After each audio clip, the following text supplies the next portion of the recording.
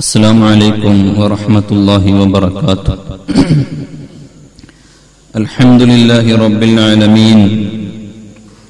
الصلاة والسلام على سيد المرسلين وعلى آله وصحبه أجمعين. يا سيد الأبرار حبك في دمي. نهر على نحو الصبابة جاري. لك يا رسول الله في أعماقنا قمم من الإجلال والإكرام. يا سيد السادات جئتك قاصدا. أرجو رضاك وأحتمي بحماك. يا رب بالمصطفى بلغ مقاصدنا واغفر لنا ما مضى. يا واسع الكرم ഏറ്റവും സ്നേഹം നിറഞ്ഞ സഹോദര സഹോദരിമാരെ വിദ്യാർത്ഥികളെ അള്ളാഹുവിൻ്റെ അതിവിശാലമായ അനുഗ്രഹത്താൽ വിശുദ്ധമായ ദുൽഹിജ മാസത്തിലാണ് നമ്മൾ ഒരുമിച്ച് കൂടിയിട്ടുള്ളത്. അള്ളാഹു സുബാനുഹുവത്തായ ഈ ഒരുമിച്ച് കൂടൽ നമ്മിൽ നിന്ന് ഒരു സ്വാലിഹായ അമലായി സ്വീകരിക്കുമാറാകട്ടെ. നാളെ പരലോകത്ത് ചെല്ലുമ്പോൾ കൺകുളിർക്കെയുള്ള പ്രതിഫലമാക്കി തരുമാറാകട്ടെ. നാം നമ്മോട് ബന്ധപ്പെട്ടവർ നമ്മുടെ മാതാപിതാക്കൾ ഉസ്താദുമാർ കൂട്ടുകുടുംബങ്ങൾ ദ്വാ കൊണ്ട് വസ്തി ചെയ്തവർ ഭാര്യ സന്താനങ്ങൾ സംഘടനാ കൂട്ടുകാർ നേതാക്കന്മാർ എല്ലാവർക്കും അള്ളാഹു ഹൈറും പറക്കത്തും നൽകട്ടെ. നമ്മിൽ നിന്നൊക്കെ മരണപ്പെട്ടു പോയവരുടെ കബറ് അള്ളാഹു സന്തോഷത്തിലാക്കി കൊടുക്കുമാറാകട്ടെ. ആമീൻ യാ റബ്ബൽ ആലമീൻ. പ്രിയമുള്ള സഹോദരങ്ങളെ നമ്മുടെ നാട് വലിയ പ്രയാസങ്ങളും പ്രതിസന്ധികളും നേരിട്ടുകൊണ്ടിരിക്കുന്ന സമയമാണ്. അള്ളാഹുവിന്റെ പരീക്ഷണങ്ങളും അതാപുകളും സമുദായം നേരിട്ടുകൊണ്ടിരിക്കുന്ന സമയമാണ്.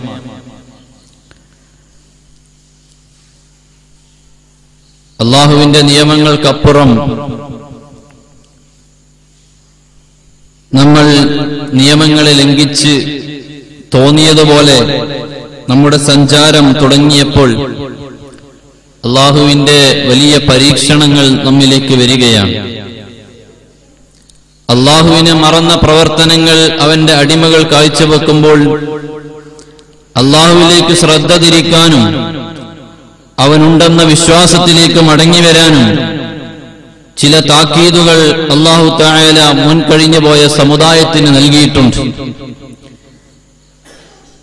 ഹബീബായ മുഹമ്മദ് റസൂലുല്ലാഹി സല്ലാഹു അലൈഹി വസല്ലമ തങ്ങളുടെ സമുദായത്തിന് മറ്റു അമ്പിയാക്കന്മാരുടെ സമുദായത്തിന് വന്നുപെട്ടതുപോലെയുള്ള അതാബുകൾ വന്നുപെടാറില്ല നിമിതങ്ങൾ അത് ഇഷ്ടപ്പെടുന്നുമില്ല.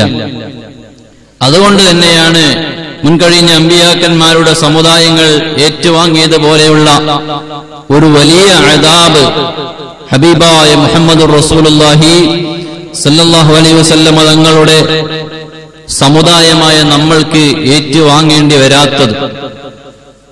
എന്നാലും അള്ളാഹുവിന്റെയും അവന്റെ ഹബീബിന്റെയും നിയമങ്ങൾക്കപ്പുറം അതിർവരമ്പുകൾ കടന്ന് വിശാലമായ ലോകത്തേക്ക് ഇഷ്ടാനുസാരം കടന്നു പോകുമ്പോൾ അള്ളാഹു ചെറിയ ചില സാമ്പിളുകൾ നമുക്ക് നൽകാറുണ്ട്.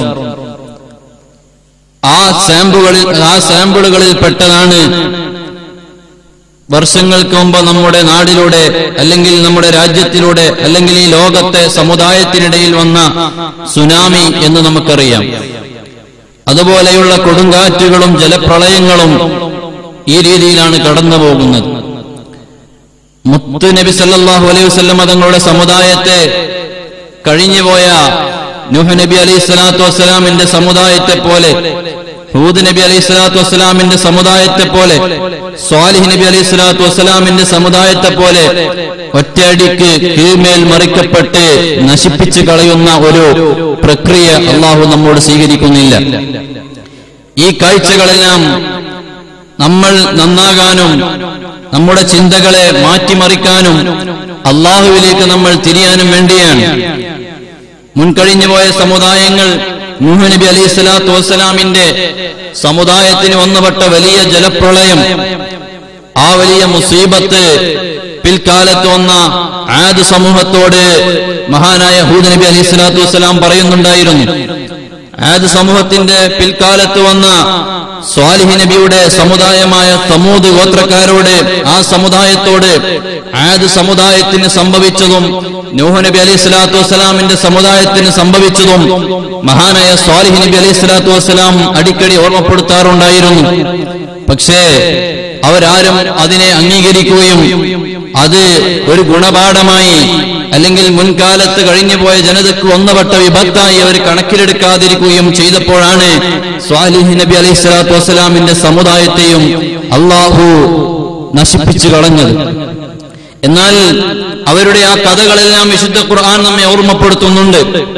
നബി അലൈഹി സ്വലാത്തു വസ്സലാമിന്റെ സമുദായത്തെ കൊണ്ട് അള്ളാഹു ലോകത്ത് മുഴുക്കെ ജലപ്രളയം സംഭവിപ്പിച്ച് എല്ലാ ആളുകളെയും നശിപ്പിച്ചു കളഞ്ഞു. നബി അലൈഹി സ്വലാത്തു വസ്സലാമിനെ അംഗീകരിച്ച് വിശ്വസിച്ച് കപ്പലിൽ കയറിയ ആളുകൾ ഒഴികെ എല്ലാ ജീവജാലങ്ങളെയും അള്ളാഹു താല വെള്ളത്തിൽ മുക്കിക്കളഞ്ഞു. എന്നതുപോലെ ആ സംഭവം വിശുദ്ധ ഖുർആൻ പറയുന്നു. ആയത് സമൂഹത്തിന്റെ ഹൂദ് നബി അലൈഹി സ്വലാത്തു വസ്സലാമിന്റെ സമുദായത്തിന്റെ വിവരം വിശുദ്ധ ഖുർആൻ വിശദീകരിക്കുന്നു. അതുപോലെ തന്നെ സമൂത് ഗോത്രത്തിന്റെ വിശദീകരിക്കുന്നു. ഫിർഔനിന്റെ ധിക്കാരത്തെ കുറിച്ച് അള്ളാഹു വിശദീകരിക്കുന്നു. ഇങ്ങനെ ധിക്കാരികളായ ആളുകൾ കടന്നു വന്ന് പ്രവാചകന്മാർക്കെതിരെയും അവരുടെ നിയമങ്ങൾക്കപ്പുറവും ചാടിക്കടന്ന ആളുകളോട് അള്ളാഹുവിന്റെ പ്രതികരണങ്ങളെ വിശുദ്ധ ഖുർആൻ നമ്മെ ഓർമ്മപ്പെടുത്തി തരുന്നുണ്ട്. ഞാൻ ഇന്ന് ഇവിടെ ഇവിടെ സംസാരിക്കാനുള്ള വിഷയം ഇങ്ങനെ ക്രോഡീകരിച്ചു കൊണ്ടിരിക്കുമ്പോ ഞാൻ അത്ഭുതപ്പെട്ടു പോയി. വിശുദ്ധ ഖുർആാനിൽ സൂറത്തുൽ ഫജർ എന്നൊരു സൂറത്ത് മാത്രം എടുത്തിട്ട് അതിന്റെ ചില വശങ്ങളെ തഫ്സീറുകളിൽ ബന്ധപ്പെടുത്തി ഞാനൊന്ന് വായിച്ചു നോക്കി. അവസാനം ഞാൻ അല്പനേരം നോക്കിയിരുന്നു പോയി. അള്ളാഹു താല ഈ സമയത്ത് നമ്മുടെ നാട്ടിൽ ചില പ്രയാസങ്ങൾ അനുഭവിച്ചിപ്പിച്ചപ്പോൾ അതുമായി ടച്ച് ചെയ്ത് നോക്കിയപ്പോൾ വിശുദ്ധ ഖുർആാനിന്റെ അവതരണങ്ങൾ എത്ര വലിയ ശരിയാണല്ലോ വെച്ചത്. സൂറത്തുൽ ഫജറിന്റെ തുടക്ക ഭാഗം ദുൽഹിജ്ജ മാസത്തെ കുറിച്ചാണ് മുഫസിനീങ്ങളുടെ വ്യാഖ്യാനം എഴുതിയത് والفجر وليال عشر والشفع والوتر والليل إذا يسر هل في ذلك قسم لذي حجر എന്ന് തുടങ്ങുന്ന സൂറത്തിൽ തുടക്കത്തിൽ അള്ളാഹു താല സത്യം ചെയ്യാൻ ഉപയോഗിച്ചത് ദുൽഹിജ്ജ മാസത്തെ കുറിച്ചാണെന്ന് മഹാന്മാർ എഴുതി. വൽ ഫജിർ വൽ ഫജിർ എന്ന് പറഞ്ഞതിനെ മഹാന്മാരുടെ വ്യാഖ്യാനം പെരുന്നാൾ ദിവസത്തിലെ സുബഹിയെ കുറിച്ചാണ് പറഞ്ഞത്. മറ്റു വ്യാഖ്യാനങ്ങളിൽ എല്ലാ ദിവസത്തെ പകലുകളെ രാവിലെകളെ കുറിച്ച് പറഞ്ഞതാണെന്നും എന്നാൽ ഒരു വിഭാഗം പണ്ഡിതന്മാര് പറഞ്ഞത് ദുൽഹിജ്ജ മാസത്തിൽ വരുന്ന ബലി പെരുന്നാളിന്റെ രാവിലെ കുറിച്ച് ആ രാവിലെ തൊട്ടാണ് അള്ളാഹു സത്യം ചെയ്യുന്നത് ഖുർആാനിൽ. എന്നിട്ട് വലയാലിൻ ആ ദുൽഹിജ മാസത്തിലെ പത്ത് ദിവസങ്ങളെ കുറിച്ചാണ് അള്ളാഹു സത്യം ചെയ്യുന്നത്. ദുൽഹിജ മാസത്തിലെ ദുൽഹിജ ഒന്ന് മുതൽ പത്ത് വരെയുള്ള ദിവസങ്ങളെയാണ്. ആ ദിവസങ്ങളിലുള്ള രാത്രികളെയാണ് എന്നാൽ ചില പണ്ഡിതന്മാർ അഭിപ്രായം പറഞ്ഞുവല്ല റമദാനിന്റെ അവസാനത്തെ പത്തിലെ രാത്രികളെയാണ്. ഏതായാലും ഒരു വിഭാഗം വലിയ വിഭാഗം പണ്ഡിതന്മാർ പറഞ്ഞത് ദുൽഹിജ മാസത്തിലെ പത്ത് ദിവസത്തെ രാത്രികളെ കുറിച്ചാണ് പറഞ്ഞത്. എന്നിട്ട് അള്ളാഹുവിന്റെ പ്രയോഗങ്ങളൊക്കെ കഴിഞ്ഞിട്ട് അള്ളാഹു ആ സൂറത്തിന്റെ ബാക്കി ഭാഗങ്ങളിൽ കൊണ്ടുവന്നത് എന്താണെന്നറിയുമോ? അതാ ആദ് സമുദായത്തെ അള്ള നശിപ്പിച്ചു കളഞ്ഞതും സമൂഹ സമുദായത്തെ അള്ളാഹു നശിപ്പിച്ചു കളഞ്ഞതും ഫിരാവുനിന്റെ ധിക്കാരങ്ങളെ തകർത്തു കളഞ്ഞതുമാണ്. ഞാനിങ്ങനെ ആലോചിച്ചു പോയി സൂറത്തുൽ ഫജറിൽ പെരുന്നാളിന്റെ ദുൽഹിജ മാസത്തിന്റെ ആദ്യത്തെ പത്തുകളെ തൊട്ട് സത്യം ചെയ്തിട്ടുള്ള പറയാൻ ഉപയോഗിച്ചത് കഴിഞ്ഞുപോയ സമുദായത്തിന് അള്ള കൊടുത്ത അതാബുകളെയാണ് ഉണർത്തിയത്. നിങ്ങൾ നോക്കി ദുൽഹിജ മാസത്തെ കുറിച്ച് ആദ്യം അള്ള സത്യം ചെയ്ത് പറഞ്ഞിട്ട് ബാക്കി പിന്നെ വന്ന അതാബുകളെ കുറിച്ച് പറഞ്ഞു. നമ്മൾ ഈ പ്രളയത്തിന്റെ അതാബുകൾ അനുഭവിച്ചത് ഈ ദുൽഹിജ മാസത്തിന്റെ പത്തുകളിലായിരുന്നു.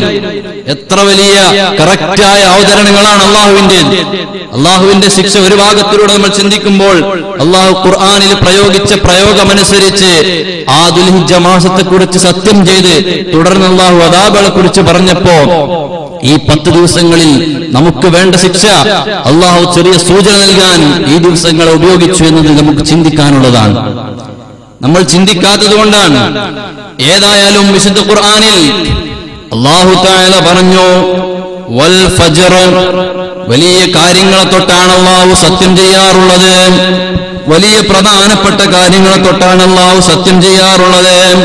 അതുകൊണ്ട് തന്നെ ഈ മാസത്തിന് വലിയ പ്രത്യേകതയുണ്ട് ഈ മാസത്തിലെ തുടക്കത്തെ ദിവസങ്ങൾക്ക് വലിയ പ്രത്യേകതയുണ്ട് ഈ മാസത്തിലെ പെരുന്നാളിന്റെ ഫജറിന് വലിയ പ്രത്യേകതയുണ്ട് വലയാലിന്റെ സെർ വരാനിരിക്കുന്ന അല്ലെങ്കിൽ കഴിഞ്ഞുകൊണ്ടിരിക്കുന്ന ഈ ദുൽഹിജ മാസത്തിലെ പത്ത് ദിവസങ്ങൾക്കും ആ ദിവസത്തിലെ രാത്രികൾക്കും വലിയ പ്രത്യേകതയുണ്ട്.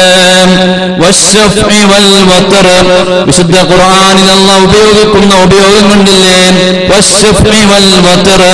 അതിന് മഹാന്മാർ നൽകിയ വിശദീകരണം എന്താണെന്നറിയുമോ? എന്ന് പറഞ്ഞാൽ അള്ളാഹു താല ഇരട്ടകളെയും ഒറ്റകളെയും തൊട്ട് സത്യം ചെയ്യുകയാണ്. ഇരട്ടകൾ എന്നവിടെ ഉപയോഗിച്ചത്. മഹാന്മാരുടെ വിശദീകരണം കാണാം. എല്ലാ സാധനത്തിനും അള്ളാഹു താല രണ്ട് വശങ്ങൾ നിർണയിച്ചിട്ടുണ്ട്. രണ്ട് വശങ്ങളുണ്ട്. എല്ലാ കാര്യങ്ങൾക്കും രണ്ട് വശങ്ങൾ നമുക്ക് നോക്കിയാൽ കാണാം. മുസ്ലിം കാഫിർ അതുപോലെ തന്നെ ഹിദായത്ത് ലലാലത്ത് അതുപോലെ തന്നെ വെളിച്ചവും ഇരുട്ടും. അങ്ങനെ തുടങ്ങി പകലു രാത്രി ഇതുപോലെ തണുപ്പ് ചൂട് ആകാശം ഭൂമി എല്ലാം കര കടൽ ഇങ്ങനെ തുടങ്ങി എല്ലാറ്റിനും സൂര്യൻ ചന്ദ്രൻ അതുപോലെ തന്നെ വേനൽക്കാലം വർഷകാലം ഇങ്ങനെ തുടങ്ങി മനുഷ്യൻ ജിന്ന് എല്ലാ വിഷയങ്ങളിലും അള്ളാഹു ഓരോ തുണകൾ നൽകിയിട്ടുണ്ട്. അതാണ് എന്ന് പറഞ്ഞത്. അതല്ലേ ചില പണ്ഡിതന്മാര് പറഞ്ഞു ഏതൊരു വസ്തുവിനും ഓപ്പോസിറ്റ് സൈഡിൽ ഒരു സംഗതിയുണ്ട്. അതിനെ കുറിച്ചാണ് അന്ന് സത്യം ചെയ്തതെന്ന്. ഇൽമുള്ളവൻ ഇൽമില്ലാത്തവൻ ഇങ്ങനെ തുടങ്ങി എല്ലാ സംഗതികൾക്കും രണ്ട് ജോഡികളെ വെച്ചിട്ടുണ്ട്. അല്ലെങ്കിൽ അതിന്റെ ഓപ്പോസിറ്റ് സൈഡിൽ വേറെ ഒരു വശമുണ്ട്. അതിനെ കുറിച്ചാണ് അന്ന് സത്യം ചെയ്തിട്ടുള്ളത്. വൽ എന്ന് പറഞ്ഞത് അള്ളാഹുവിനെ കുറിച്ച് തന്നെയാണ്. അള്ളാഹു മാത്രമാണ് ഇവിടെ ഏകനായുള്ളവൻ. അള്ളാഹുവാണ് ഇവിടെ ഏകനായുള്ളവൻ. അള്ളാഹു അത് വിശുദ്ധ ഖുറാനിൽ അല്ല പറഞ്ഞു. അതുകൊണ്ട് അള്ളാഹു താഴല ഒറ്റപ്പെട്ടവനാണ് പ്രയാസമില്ലാത്തവനാണ് കൂട്ടുകാരില്ലാത്തവനാണ് മക്കളില്ലാത്തവനാണ്. അതുകൊണ്ട് തന്നെ അള്ളാഹു തല ഒറ്റപ്പെട്ടതിനെ ഇഷ്ടപ്പെടുന്നു. ആ ഒരു കാരണം കൊണ്ട് തന്നെ അള്ളാഹു സത്യം ചെയ്യുന്ന സൂറത്തിൽ ഫജറിൽ ഒറ്റയിട്ട ആളുകളെ കുറിച്ച് അള്ളാഹിനെ കുറിച്ച് സത്യം ചെയ്തു. എന്ന് പറഞ്ഞ് സത്യം ചെയ്യുകയാണ്. അത് കഴിഞ്ഞിട്ട് അള്ള സത്യം ചെയ്യുന്നത് എങ്ങനെയാണെന്നറിയുമോ. രാത്രികളെ കുറിച്ചാണ്. രാത്രികൾ സഞ്ചരിച്ചു കൊണ്ടിരിക്കുന്ന രാത്രികളെ കുറിച്ചാണ് സത്യം ചെയ്യുന്നത്. ആ രാത്രികൾ ഏതാണെന്നറിയുമോ? ഈ ദുൽഹിജ്ജയിലെ മഹത്തായ രാത്രികളെ കുറിച്ചാണല്ലോ പറയുന്നത്. ഈ മാസത്തിൽ ഒന്നാമത്തെ പത്തിൽ കഴിഞ്ഞു പോകുന്ന രാത്രികൾ അല്ലെങ്കിൽ വരാനിരിക്കുന്ന രാത്രികൾ ഈ രാത്രികളെ കുറിച്ചാണല്ലോ പറയുന്നത്. ഇതെല്ലാം കുറിച്ച് സത്യം ചെയ്തിട്ടല്ല പറയാണ്.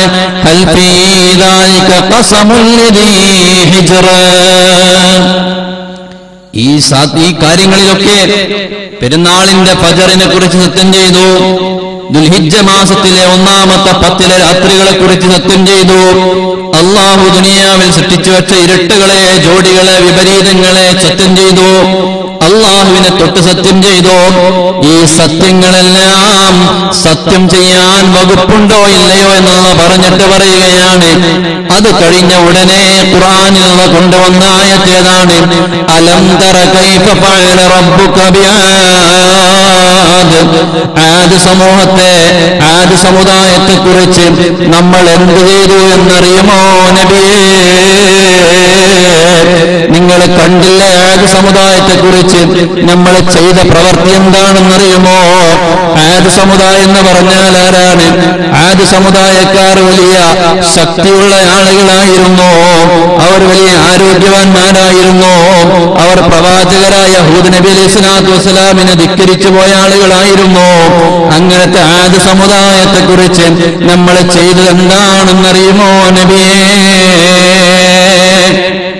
വിശുദ്ധ ഖുർആാനിന്റെ ചോദ്യമാണ്. ആദ് സമൂഹം എന്ന് പറഞ്ഞാൽ ആരാണ്? അവരാരാണ് മഹാന്മാർ വിശദീകരിക്കുന്നു. നൂഹ് നബി അലൈഹി സ്വലാത്തു വസ്സലാമിന്റെ മകൻ സാം എന്നവരുടെ മകൻ ഇറം എന്നവരുടെ മകൻ ഔസ് എന്നവരുടെ മകൻ ആദ് എന്ന് പറയുന്ന ആളുണ്ട്. അയാളുടെ പരമ്പരയിൽപ്പെട്ട ആളുകളാണ് ആദ് സമുദായക്കാർ. അപ്പൊ ഏത് സമൂഹം എന്ന് പറയുന്നത് ആരാണ്? അവർ വലിയ ശക്തിമാന്മാരായ ആളുകളാണ്. അത്തരക്കാരായ ആദ് സമുദായത്തിൽപ്പെട്ട ആളുകളിൽ നിന്ന് തന്നെ അവർ വല്ലാതെ തോന്നിയതുപോലെ ജീവിതം നയിക്കുമ്പോഴാണ് അള്ളാഹുവിന്റെ പ്രവാചകനെ എങ്ങോട്ട് നിയോഗിക്കുന്നത്. ആ പ്രവാചകനായ ഹൂദ് നബി അലൈഹി സ്വലാത്തു വസ്സലാം അങ്ങോട്ട് വരുമ്പോഴാണ് നബി ഹൂദ് നബി അലൈഹി സ്വലാത്തു വസ്സലാമിനെ അംഗീകരിക്കാതിരിക്കുന്നത്. അവരോട് ചെയ്ത പ്രവർത്തികൾ മഹാനായ നബി അവരോട് ചെയ്തു വന്ന പ്രവർത്തികൾ മോശമായതാണ്. അള്ളാഹുവിൽ വിശ്വസിക്കാത്തതാണ്. അതുകൊണ്ട് തന്നെയാണ് വിശുദ്ധ ഖുർആാനിന്റെ ചോദ്യം വന്നത്. അലം തറ കൈഫ ഫഅല റബ്ബുക ബിആദ് ഓ നബിയെ നിങ്ങൾക്കറിയില്ലേ? നിങ്ങൾ കാണും കണ്ടില്ലേ? അറിയുന്നില്ലേ? ആദ് സമുദായത്തെ കുറിച്ച് അള്ള ചെയ്ത എന്താണെന്നറിയുമോ? നമ്മുടെ ഉസ്താദന്മാർക്ക് ഇന്ന് കിറ്റ് വിതരണം ഉണ്ടെന്ന് പറഞ്ഞു.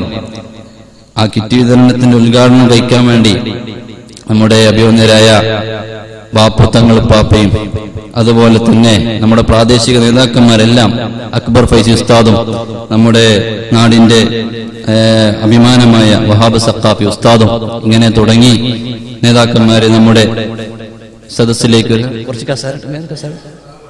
അലൈക്കും അള്ളാഹു താല എല്ലാവർക്കും ആഫിയത്തുള്ള ദീർഘായുസ് നൽകുമാറാകട്ടെ.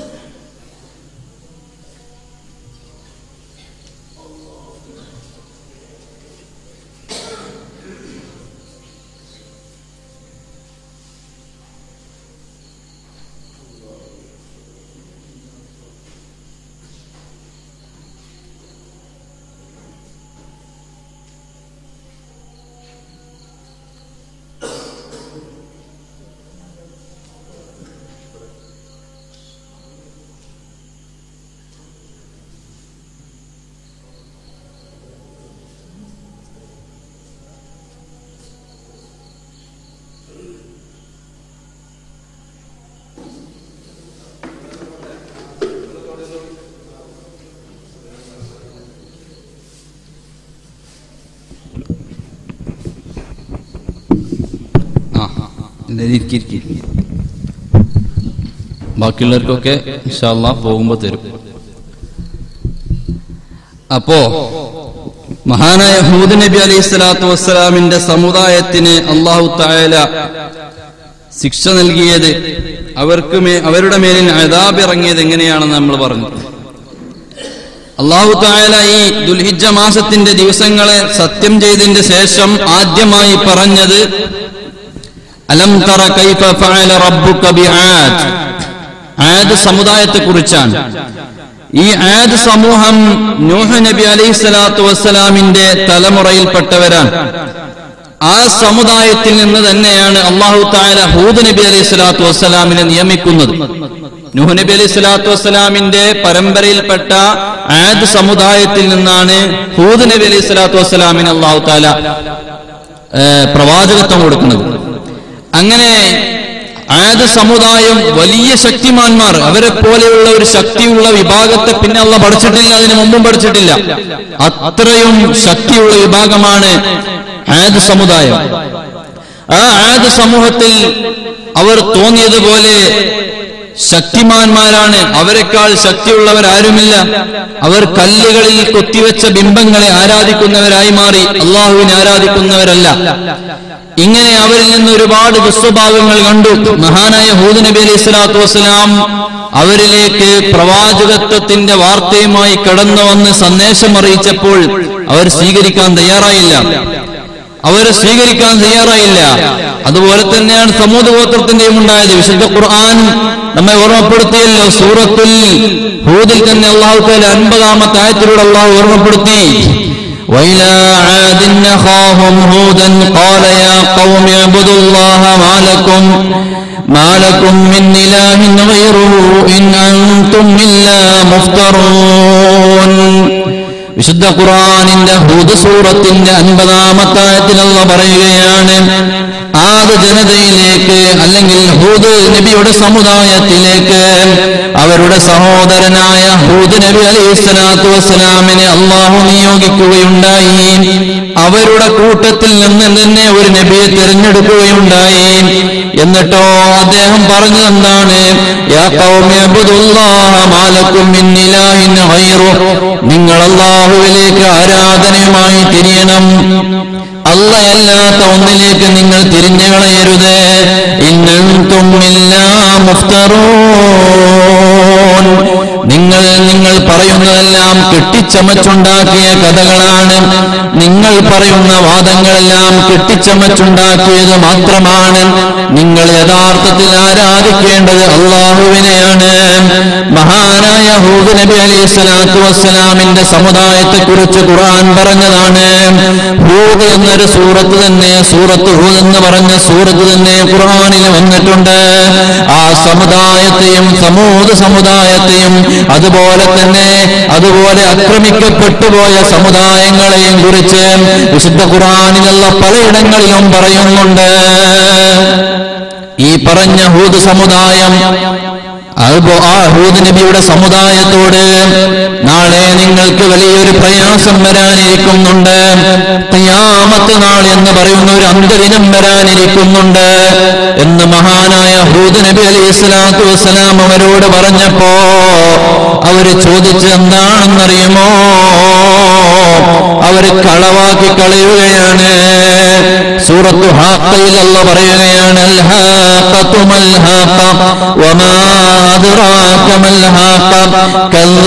സമൂഹം വമാ അദ്റാക മൽഹാഖ, കല്ലബത് സമൂദും വആദും ബിൽഖാരിഅ." സമൂത് സമുദായവും അതുപോലെ തന്നെ ആദ്യ സമുദായവും ആ ഭയങ്കരമായ സംഭവത്തെ നിഷേധിച്ച് കളഞ്ഞവരാണ്. അന്ത്യനാളിനെ കുറിച്ചുള്ള വിശ്വാസമില്ലാതെ ആയിപ്പോയവരാണ്. അതുകൊണ്ട് തന്നെ അള്ളാഹു പാഠം പഠിപ്പിക്കാൻ തീരുമാനിക്കുകയാണ്. വിശുദ്ധ ഖുറാനിലുള്ള എടുത്തു പറഞ്ഞത് എന്തിനാണ്? കഴിഞ്ഞുപോയ പ്രവാചകന്മാർ കഴിഞ്ഞുപോയ നബിമാർക്കിറങ്ങിയ ഗ്രന്ഥങ്ങളിൽ പറഞ്ഞ പോലെ എന്തിനിത് അല്ല ഖുറാനിൽ കൊണ്ടുവന്നു? മുഹമ്മദ് നബി തങ്ങൾക്ക് നൽകിയ വിശുദ്ധ ഖുറാനിൽ എന്തിനെടുത്തു പറഞ്ഞോ? നമ്മളാകുന്ന മുത്തുനബിയുടെ സമുദായം മനസ്സിലാക്കാനാണ് കിബിർ വെച്ച് നടക്കുന്നവർ മനസ്സിലാക്കാനാണ്. ഞാൻ അല്പം സമ്പത്തുള്ളവനാണെന്ന് വിചാരം വെച്ച് നടക്കുന്നവൻ മനസ്സിലാക്കാനാണ്. എനിക്കല്പം ആരോഗ്യമുണ്ടെന്ന ചിന്ത വന്നവൻ മനസ്സിലാക്കാൻ വേണ്ടിയാണ്. അതുകൊണ്ടാണ് സമൂഹ ഗോത്രക്കാരോട് അവരോട് ഖിയാമത്ത് നാളിനെ കുറിച്ച് പറഞ്ഞപ്പോ ഹൂദ് അലൈഹി സ്വലാത്തു വസ്സലാം അതിന്റെ ഭയാനകതകളെ കുറിച്ച് പറഞ്ഞപ്പോ അവരതിനെ കള്ളമാക്കി കളഞ്ഞോ. അല്ല യഹൂദ ഇങ്ങനെ ഒരു ദിവസമൊക്കെ വരാണ്ടോ ഇങ്ങനെ ഒരു ദിവസം കൂടെ വരാണ്ടോ അതൊന്നും ഉണ്ടാകാൻ പോണില്ല. ഇങ്ങനെ ഒരു അന്ത്യനാളൊന്നും വരാൻ പോണില്ല. രണ്ട് വിഭാഗക്കാരും കള്ളമാക്കി കളഞ്ഞോ? എന്നാൽ അങ്ങനെ കള്ളമാക്കി കളഞ്ഞപ്പോ അള്ളാഹു താൽ അവർക്ക് നൽകിയ ശിക്ഷ എന്താണെന്നും ഖുർആൻ പറയുകയാണ്.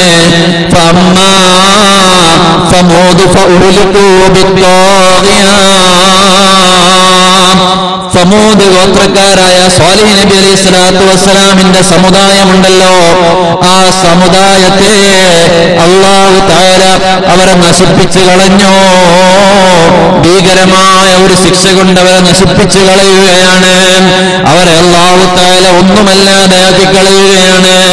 എന്നിട്ട് രണ്ടാമതെന്ന് പറയാണ്? വമ്മാതും സൊറസരിനാ എന്നാൽ ഹൂദ് നബി അലൈഹി സ്വലാത്തു വസ്സലാമിന്റെ സമുദായമാകുന്ന ആദ് സമൂഹം ഖിയാമത്ത് നാളിനെ കളവാക്കിയപ്പോ അള്ളാഹു താല അവരെ നശിപ്പിച്ചു കളഞ്ഞത് എങ്ങനെയാണെന്നറിയുമോ റീഹുൻ സുറസുറ കൊടുങ്കാറ്റിലൂടെയാണ്. നബി അലൈഹി സ്വലാത്തു വസ്സലാമിന്റെ സമുദായത്തെ നശിപ്പിച്ചത് എങ്ങനെയാണെന്നറിയുമോ തൂഫാനിലൂടെയാണ് ജലപ്രളയത്തിലൂടെയാണ്. ഫിരാവുനെയും സമുദായത്തിനെയും ഫിരാവുനെയും അവന്റെ പടയാളികളെയും നശിപ്പിച്ചത്. കടലിൽ മുക്കി കളഞ്ഞിട്ടാണ് അള്ളഹാനോട് കളിച്ചവരാരെയും പുറത്തു വിട്ടില്ല. വിശുദ്ധ ഖുർആൻ ഇതെല്ലാം ഖുർആാനിൽ കൊണ്ടുവരാനുള്ള കാര്യം എന്താണ് ഫിറൌനിനെ പാടാകൂലല്ലോ ഖുർആാനിൽ കൊണ്ടുവന്നതുകൊണ്ട്.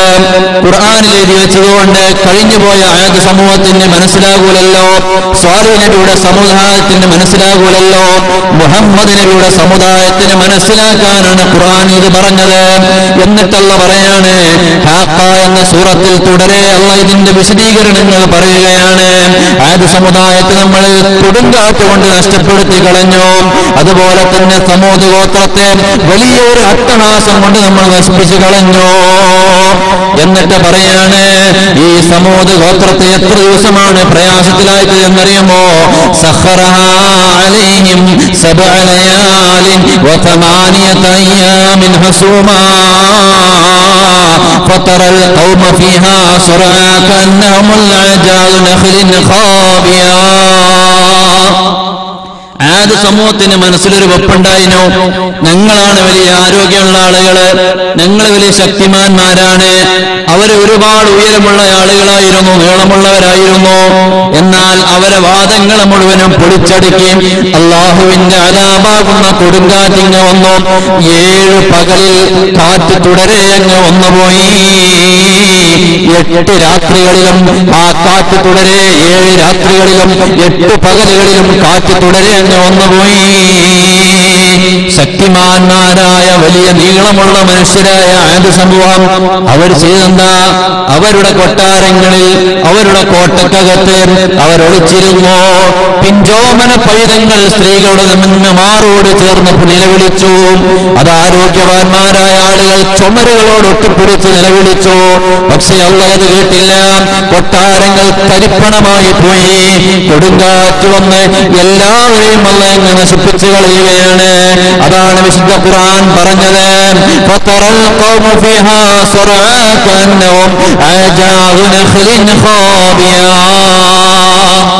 ഈന്തപ്പനയുടെ മരങ്ങൾ വെട്ടിയിട്ടതുപോലെ ആ വലിയ മനുഷ്യന്മാർ ഭൂമിയിൽ അങ്ങ് നിരന്നു കിടക്കുന്നത് കണ്ടുപോയില്ലേ നബിയേ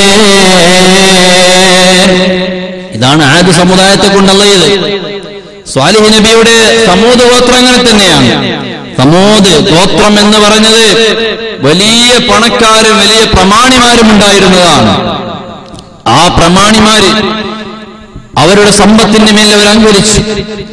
അങ്ങനെ നിൽക്കുമ്പോഴാണ് വലിയ ബുദ്ധിമാനും ബുദ്ധിശാലിയുമായ സ്വാലിഹ് നബി അലൈഹി സ്വലാത്തു വസ്സലാം മഹാനവറുകളെ അള്ളാഹുത്താൽ അവരെ കൂട്ടത്തിൽ നിന്ന് സമൂത് ഗോത്രത്തിൽപ്പെട്ട ആളെന്നെ സ്വാലിഹ് നബി. ആ സ്വാലിഹ് നബിയെ നബിയാക്കാൻ തീരുമാനിച്ചു. പക്ഷെ ജനങ്ങൾക്കൊക്കെ ഒരു കാഴ്ചപ്പാടുണ്ടായിരുന്നു. സ്വാലിഹ് നബി വലിയ ബുദ്ധിശാലിയാണ് അതീവ ബുദ്ധിയുള്ളയാളാണ്. അതുകൊണ്ട് സ്വാലിഹ് വലുതായി കഴിഞ്ഞാൽ വലിയ പണക്കാരനും പ്രമാണിയും രാജകുമാരനുമാകുമെന്ന് സ്വാലിഹ് നബിയുടെ വാപ്പാക്കിന് ഒരു പ്രതീക്ഷ ഉണ്ടായിരുന്നു. പക്ഷെ വലുതായി കഴിഞ്ഞപ്പോ പ്രതീക്ഷിച്ചതുപോലെ അല്ല സ്വാലിഹ് നബി പണത്തിനോട് സ്ഥാനം കാണിച്ചില്ല. അള്ളാഹുവിന്റെ നബൂവത്ത് നബി എന്ന പ്രവാചകത്വം ലഭിച്ച് ജനങ്ങൾക്കിടയിലേക്ക് ഇറങ്ങി വന്നു. അപ്പൊ സ്വാലിഹ് നബിയോട് കുറെ ആളുകൾ പറഞ്ഞു അല്ലയോ സ്വാലിഹെ നിന്നെ കുറിച്ച് നിന്റെ ബാപ്പ വലിയ പ്രതീക്ഷയിലായിരുന്നു. ഞങ്ങളും വലിയ പ്രതീക്ഷയിലായിരുന്നു. കാരണം നിന്റെ ഈ ബുദ്ധി ഉപയോഗിച്ച് നീ നാളെ വലിയ പ്രമാണിയാകുമെന്ന് ഞങ്ങൾക്കൊരു ധാരണയുണ്ടായിരുന്നു. എല്ലാം നീ നഷ്ടപ്പെടുത്തി സ്വാലിഹേ നിന്റെ ബാപ്പാനെ നീ കണ്ണുനീരായിട്ടില്ല സ്വാലിഹേ നിന്റെ ഓടൊപ്പം പഠിച്ച നിന്നോടൊപ്പം ജീവിച്ചു വളർന്ന നിന്റെ കൂട്ടുകാരൊക്കെ വലിയ വലിയ പ്രമാണിമാരായി പോയി. ഇപ്പോഴും നീ ഉയർന്നിട്ടില്ലല്ല സ്വാലിഹേ ഞങ്ങളെ പ്രതീക്ഷയെ നീ തകർന്നു കളഞ്ഞല്ല സ്വാലിഹേ. അപ്പോഴാണ് സ്വാലിഹ് നബി അലൈഹി സ്വലാത്തു വസ്സലാം പറഞ്ഞത് നിങ്ങൾ ആരാധിക്കുന്ന ബിംബങ്ങളെല്ലാം കളവാണ്. നിങ്ങൾ ആരാധിക്കുന്ന ദൈവങ്ങളെല്ലാം ഇല്ലാത്തതാണ്. ഒരേ ഒരു റബ്ബ് മാത്രമേ ഉള്ളൂ. അള്ളാനെയാണ് നിങ്ങൾ ആരാധിക്കേണ്ടത്. അവർ കളിയാക്കി. ഭ്രാന്തനാണെന്ന് പറഞ്ഞു. നബി തങ്ങൾ ആരോപണം നടത്തിയതുപോലെ തന്നെ അവരെയും സ്വാലിഹ് നബിയെയും ആരോപണം നടത്തി. സമൂഹത്വം അങ്ങനെ നിൽക്കുമ്പോഴല്ലേ അവർക്ക് അല്ലാഹു വലിയ ജലങ്ങൾ നൽകി കിണറിലൊക്കെ നല്ല സമൃദ്ധമായ വെള്ളം നൽകിയിരുന്നു. പക്ഷേ സ്വാലിഹ് നബി അലൈഹി സ്വലാത്തു വസ്സലാം നബിയാണെന്ന് അംഗീകരിക്കണമെങ്കിലോ സ്വാലിഹ് നബിന്റെ കൂടെ കുറെ ആളുകളൊക്കെ ഇങ്ങനെ ചുറ്റിയും പറ്റിയും കൂടാൻ തുടങ്ങിയപ്പോ അവിടെ ഉണ്ടായിരുന്ന പ്രമാണിമാർക്ക് ഒരു ഭയം. പഠിച്ചവനെ സ്വാലിഹിന്റെ കൂടെ ആളുകളൊക്കെ അങ്ങ് തിരിഞ്ഞാൽ ഞങ്ങളെ സ്ഥാനം പോകുമല്ലോ. അതുകൊണ്ട് പ്രമാണിമാർ ഇറങ്ങിയിട്ട് നാട്ടിൽ മുഴുവനും പ്രചരണം നടത്തി. സ്വാലി ഒന്നുമല്ലാത്തവനാണ്. അവന്റെ കൂടെ കൂടിയിട്ട് നിങ്ങൾ നാശിപ്പൻ നഷ്ടപ്പെട്ടു പോകാൻ നിൽക്കണ്ട അങ്ങനെ കുറെ ആളുകൾ പറഞ്ഞു സ്വാലിഹേ നീ ഒരു നബിയാണെന്ന വാദമാണോ നിനക്കുള്ളതെങ്കിൽ? ആ കാണുന്ന പാറക്കെട്ടിനുള്ളിൽ നിന്ന് ഒരു ഗർഭിണിയായ ഒട്ടകത്ത് നീ പുറത്തേക്ക് കൊണ്ടുവരണം. സ്വാലിഹ് നബിനോട് പറഞ്ഞു ഒരു ഗർഭിണിയായ ഒട്ടകത്തെ പുറത്തേക്ക് കൊണ്ടുവരാൻ പറഞ്ഞു. സ്വാലിഹ് നബി അത് കണ്ടാ വിശ്വസിക്കുമോ വിശ്വസിക്കാം. സ്വാലിഹ് നബി ആ പാറക്കെട്ടിനോട് പറഞ്ഞു ആ പാറക്കെട്ടിന്റെ അകത്തു നിന്ന് ഗർഭിണിയായ ഒട്ടകം പുറത്തു വരികയും ആ ഒട്ടകം പ്രസവിക്കുകയും ചെയ്തു. കുറെ ആളുകളൊക്കെ വിശ്വസിച്ചു. അങ്ങനെ ആ ഒട്ടകം അവിടെ സാധാരണ നിലയിൽ ഉണ്ടായിരുന്ന ഒട്ടകത്തെക്കാൾ വലുപ്പം കൂടിയതായിരുന്നു. മറ്റു ജീവികൾ ഈ ഒട്ടകത്തെ കണ്ടാൽ പേടിച്ചോടും. അങ്ങനത്തെ രീതിയിൽ ഒട്ടകങ്ങളായി ഒട്ടകമായിരുന്നു അങ്ങനെ വെള്ളം കുടിക്കാൻ അള്ളാഹു താല അവിടെ വെള്ളത്തിന് പ്രയാസം കൊടുത്തപ്പോ അള്ളാഹുവിന്റെ ഒട്ടകമായ സ്വാലിഹിൻ നബിയുടെ ഒട്ടകം അള്ളാഹുവിന്റെ ഒട്ടകം എന്ന് അറിയപ്പെട്ടതിന് എന്നിട്ട് വെള്ളം കുടിക്കുന്നിടത്ത് സ്വാലി നബിന്റെ ഒട്ടകം വെള്ളം കുടിക്കാൻ വേണ്ടി തടാകത്തിൽ വന്നാൽ മറ്റുള്ള മൃഗങ്ങളൊക്കെ ഉടൻ പേടിച്ചു ഉടൻ അപ്പൊ സ്വാലിഹ് നബി ചെറിയ അഡ്ജസ്റ്റ്മെന്റ് കൊടുത്തു. ആദ്യേ പറഞ്ഞു നിങ്ങൾ ഒരിക്കലും ഈ അള്ളാഹുവിന്റെ ഒട്ടകത്തെ നിങ്ങൾ ആക്രമിക്കരുത് നിങ്ങൾ കഥാപ് വരും. നിങ്ങൾ ആ ഒട്ടകത്തെ ബുദ്ധിമുട്ടിക്കരുത്. അതിന് വെള്ളം കൊടുക്കണം ഭക്ഷണം കൊടുക്കണം ഒരു നിലക്കുള്ള പ്രയാസപ്പെടുത്തരുത്. അള്ളാഹുവിന്റെ അതാ പറഞ്ഞും കാരണം അള്ളാന്റെ ഒട്ടകാണ് സ്വാലിഹ് നബി അതേ പറഞ്ഞിരുന്നു പക്ഷേ അവരത് കേട്ടില്ല. സ്വാലിഹ് നബിന്റെ ഒട്ടകം വെള്ളം കുടിക്കാൻ വന്നാൽ മറ്റുള്ളവരുടെ ജീവികളൊക്കെ പേടിച്ചോടും. അപ്പൊ സ്വാലിഹ് നബി ചെറിയൊരു അഡ്ജസ്റ്റ്മെന്റ് കൊടുത്തു. എന്റെ ഒട്ടകം വെള്ളം കുടിക്കാൻ വരുന്ന നിങ്ങളെ ഒട്ടകം നിങ്ങളെ ജീവികളൊന്നും വെള്ളം കുടിക്കാൻ വരില്ല വേറൊരു ദിവസം നിങ്ങളായിക്കോളി അങ്ങനെ ഇപ്പോ ആ നാട്ടിലുണ്ടായിരുന്ന കുറച്ച് പ്രമാണിമാർ വില്ലന്മാർ അവർ തീരുമാനമെടുത്തു. സ്വാലിഹിന്റെ ഒട്ടകത്തെ നമുക്ക് കൊന്നുകളയണം. ആരും അറിയണ്ട ആളറിയാതിരുന്നാ മതിയല്ലോ. കൊന്നു കളയണം അല്ലെങ്കിൽ നമുക്കിവിടെ ജലത്തിന് വലിയ പ്രയാസമാണ് അതുകൊണ്ട് നമുക്ക് സ്വാലിഹിന്റെ ഒട്ടകത്തെ നമുക്ക് കൊന്നുകളയാം. അങ്ങനെയുള്ള തീരുമാനം വന്നു. ആ തീരുമാനമെടുത്ത് ഇവർ രാത്രിയിൽ സ്വാലിഹ് നബിയുടെ ഒട്ടകം വരുന്ന സമയത്ത് ആ സ്വാലി നബീന്റെ ഒട്ടകത്തിന്റെ മേലിൽ ഒരാൾ അമ്പെയ്തു മറ്റൊരാൾ പോയി കഴുത്തറുത്ത് കളഞ്ഞു സ്വാലിഹ് നബിയുടെ ഒട്ടകമെന്ന് വീണു. അള്ളാഹുവിന്റെ ഒട്ടകമെന്ന് പറഞ്ഞിരുന്ന. സ്വാലിഹ് നബിയുടെ ഒട്ടകത്തെ കൊന്നുകളഞ്ഞു ആ സമുദായം സ്വാലി നബിയുടെ ഒട്ടകത്തെ കൊന്നുകളഞ്ഞപ്പോ സ്വാലി നബി പറയുകയാണ് അല്ലയോ മനുഷ്യ നിങ്ങൾ അള്ളാഹുവിന്റെ ഒട്ടകത്തെ കൊല്ലരുത് ഞാൻ പറഞ്ഞതല്ലേ? നിങ്ങൾ കൊന്നുകളഞ്ഞില്ലേ? മൂന്ന് ദിവസം നിങ്ങൾ നല്ല നിലയ്ക്ക് ജീവിച്ചോളിയും പിന്നെ അള്ളാന്റെ അതാബ് വരും. നിങ്ങൾ കാത്തിരുന്നോളി എന്ന് പറഞ്ഞു. അവരപ്പോഴും പ്രശ്നമാക്കിയില്ല മൂന്ന് ദിവസം നിങ്ങൾക്ക് നല്ല നിലയ്ക്ക് ജീവിക്കാം സന്തോഷത്തോടെ ആർഭാടത്തോടെ ജീവിച്ചോളിയും അത് കഴിഞ്ഞ ഞങ്ങളെ കഥ കഴിഞ്ഞു. സ്വാലി നബിയും അതുപോലെ അവിടുന്ന് വിശ്വസിച്ച ആളുകളും മെല്ലെ അവിടുന്ന് സ്ഥലം വിട്ടു. കാരണം അവരിതിൽ പെടാൻ പാടില്ല. മൂന്ന് ദിവസം കഴിഞ്ഞപ്പോ വെള്ളത്തിന് വല്ലാത്ത ക്ഷാമം വന്നു പോയി. സ്വാലിഹ് നബിയുടെ സമുദായമായ സമൂഹ ഗോത്രക്കാർ അവർ വെള്ളമില്ലാതെ പ്രയാസപ്പെട്ടുകൊണ്ടിരിക്കുമ്പോഴാണ് ആകാശത്ത് നല്ല ഒരു കാർമേഘം വരുന്നു. മഴ പെയ്യാനുള്ള ഒരുക്കമാണെന്ന് അവർ വിചാരിച്ചുപോയി അതിന്റെ താഴ്ഭാഗത്തേക്ക് ഓടിക്കൂടിയപ്പോഴേക്ക് ഒരു വലിയ ശബ്ദം വന്ന് അവർ മുഴുവനും അങ്ങ് നശിച്ചുപോയി. സ്വാലിഹ് നബി അലൈഹി സ്വലാത്തു വസ്സലാമും സമുദായത്തിൽപ്പെട്ട മുഅ്മിനീങ്ങളും രക്ഷപ്പെടുമ്പോ സ്വാലിഹ് നബി ഇങ്ങനെ മയ്യത്തുകളെ നോക്കിയിട്ട് പറയാണ് അപ്പോഴും ഞാൻ നിങ്ങളോട് പറഞ്ഞില്ലേ അള്ളാഹ് ഇറങ്ങുമെന്ന്? നിങ്ങൾ വിശ്വസിക്കാതെ കൈകാര്യം ചെയ്തുകൊണ്ടല്ലേ? എന്നിട്ട് വിശുദ്ധ ഖുർആൻ ഈ സംഭവങ്ങൾ ഇങ്ങനെ വിശദീകരിച്ചിട്ട് നമ്മോട് പിന്നെയും പറയാണ് നിങ്ങൾ ഫിർഹൗരിന്റെ സമുദായത്തെ ഞാൻ ചെയ്തത് കണ്ടില്ലേ? തെറ്റായ പ്രവർത്തനങ്ങളുമായി ഫിരാവുന് വന്നില്ലേ? അള്ളാഹുവിനേക്കാൾ വലിയ പടച്ചുതമ്പുരാനാണെന്ന വാദവുമായി വന്നില്ലേ? ആ ഫിരൗനിന്റെ ധിക്കാരത്തിന് നമ്മൾ ആ ധിക്കാരത്തിനുള്ള മറുപടി എന്നോണം അവനിക്ക് നമ്മൾ അഴാബ് കൊടുത്തിട്ടുണ്ട്. വിശുദ്ധ ഖുർആൻ ഇങ്ങനെ വിശദീകരിച്ചിട്ട് നമ്മളോട് പറയാണ് അതുകൊണ്ട് ജനങ്ങളെ നിങ്ങൾ വല്ല പരീക്ഷണങ്ങളും ഏറ്റുവാങ്ങുന്നെങ്കിൽ നിങ്ങളാരും ഒന്നും വിചാരിച്ചു പോകണ്ട. നിങ്ങളാൽ വരുത്തി തീർത്ത പ്രയാസങ്ങളും പ്രതിസന്ധികളുമാണിത്. അല്ലാതെ ആരെയും കുറ്റം പറഞ്ഞിട്ട് കാര്യമില്ല. സമൂത് ഗോത്രത്തെ അല്ല നശിപ്പിച്ചു എന്ന് സൂറത്തുൽ ഫജറിൽ അല്ല പറഞ്ഞു. ഫിർഔനിനെ കുറിച്ച് പറയുന്നത് കണ്ടില്ലേ?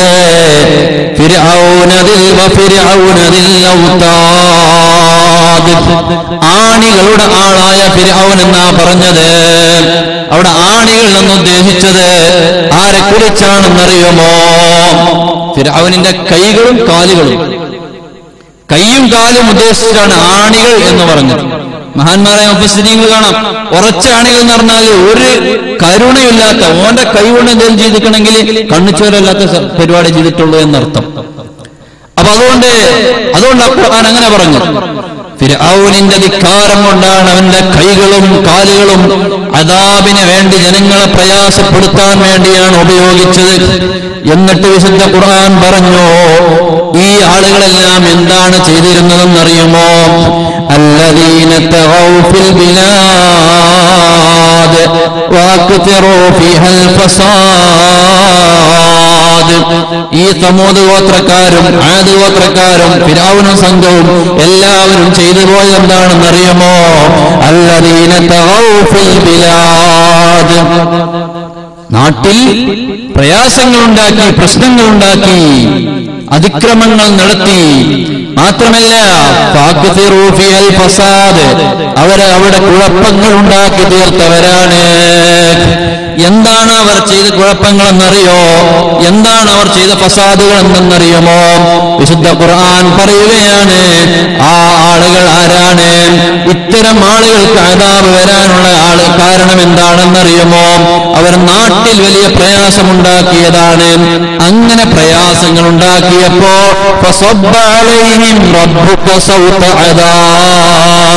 അവർക്ക് വേണ്ട ശിക്ഷയെ അള്ളാഹ് അവരുടെ മേൽ കമ്മിറ്റി കളഞ്ഞു എന്ന് പറഞ്ഞാൽ സ്പോട്ടിൽ അവർക്കുള്ള ശിക്ഷയങ്ങൾ കൊടുത്തു കളഞ്ഞു. അതുകൊണ്ട് നിങ്ങൾ മറക്കരുത്. ഇന്ന. അള്ളാഹുവിനെ നിങ്ങൾ ഉദ്ദേശിച്ച രീതിയിൽ അവൻ എവിടെയാണോ ഇരിക്കുന്നത്? ആ സ്ഥാനത്ത് തന്നെ അവൻ അവിടെ തന്നെയുണ്ട് അള്ളാഹുവിന്റെ സ്ഥാനങ്ങൾക്ക് മാനങ്ങൾക്ക് ഒരു കോട്ടവും പറ്റിയിട്ടില്ല.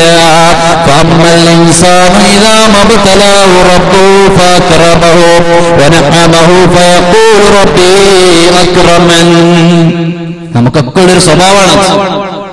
നമുക്ക് എല്ലാ ആളുകൾക്കും ഒരു സ്വഭാവം. അള്ളാഹു താല എന്തെങ്കിലുമൊക്കെ നിയമത്ത് നമുക്ക് നൽകിയാൽ നമ്മൾ അതിമങ്ങനെ പിടിച്ചിട്ട് അള്ളാഹുവിനെ വലിയ മഹാനാക്കി കുറെ നിയമത്തെ നമുക്ക് ഇങ്ങനെ കിട്ടിക്കഴിഞ്ഞാൽ അപ്പൊ അള്ളാഹുവിൽ നമുക്ക് തെറ്റും തോന്നൂല. അള്ളാഹുവിൽ നല്ല തൃപ്തിപ്പെട്ട് സമാധാനപരമായിട്ടായിരിക്കും അപ്പോ അള്ളാഹു തൃപ്തിപരമായിട്ടായിരിക്കും നമ്മൾ നീക്കങ്ങൾ ഉണ്ടാകാം എന്നാൽ നേരെ മറിച്ച് അള്ളാഹു താല ഒരാളെ ഞെരുക്കത്തിലേക്ക് പ്രയാസത്തിലേക്ക് സാമ്പത്തികമായി ഇടിച്ചിൽ ഇടുക്കം നൽകിയാൽ അവിടെ നമ്മൾ അള്ളാഹുവിനെ എന്തോ ഒരു ഭീകര ജീവിയായിട്ട് നമ്മൾ കാണും. അതാണ് വിശുദ്ധ ഖുർആൻ പറഞ്ഞു.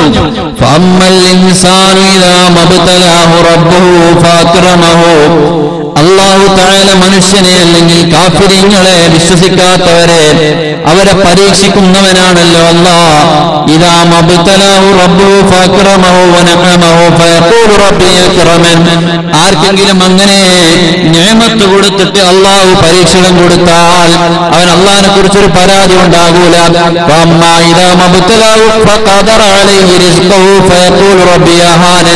ആർക്കെങ്കിലും അള്ളാഹു തആല പരീക്ഷണം കൊടുത്തു അവന്റെ ഭക്ഷണത്തിലും ഉപജീവനത്തിലും ഒക്കെ തിടുക്കം നൽകിയാൽ ആ പടച്ചോനെ പിന്നെ കണ്ണിന്റെ ഇറക്കണ്ടൂട നമ്മളെ സ്വഭാവമാണ് ശുദ്ധ ഖുർആൻ പറഞ്ഞതാണ്. എന്നാൽ നിങ്ങൾ കേൾക്കണോ? എന്നാൽ ഇവരെ ശിക്ഷിക്കപ്പെടാൻ ഇവരെ നാടുകളിൽ ചെയ്ത ഫസാദ് എന്താണ്? ഇവർ നാടുകൾ ചെയ്ത ഫിത്തിന എന്താണ്? ആത് സമുദായം നാട്ടിൽ ചെയ്ത പ്രശ്നങ്ങൾ എന്താണ്? സമൂത് ഗോത്രം ചെയ്തത് എന്താണ്?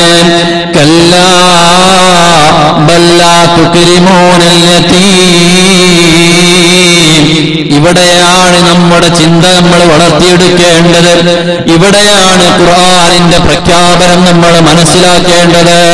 കേരളത്തിൽ ഉടനീളം ജലപ്രളയം വന്ന് കൊടുങ്കാറ്റടിച്ച് ഭൂചലനമുണ്ടായി ജനങ്ങൾ പ്രയാസത്തിലാകാനുള്ള ഒരു കാരണം നോക്കിക്കോ. വിശുദ്ധ ഖുർആൻ പറയാണ് കല്ല നിങ്ങൾ ഉദ്ദേശിച്ച പോലെയൊന്നുമല്ല കാര്യം നിങ്ങൾ അനാഥകളെ ആദരിക്കുന്നില്ല. അനാഥകളായ തീമക്കൾ നിങ്ങൾ ആദരിച്ചില്ല. അവർക്ക് നിങ്ങൾ പരിഗണന കൊടുത്തില്ല. തീമക്കൾക്ക് ഇസ്ലാം വലിയ സ്ഥാനമാനങ്ങൾ നൽകിയിട്ടുണ്ട്.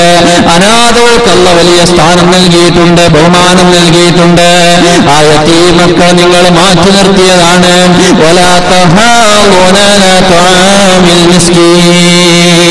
പാവപ്പെട്ട ആളുകൾ യാത്രികമായി കടന്നു വരുന്ന ആളുകൾ അവർക്ക് നിങ്ങൾ ഒന്നും നൽകാതെ വിട്ടതാണ്.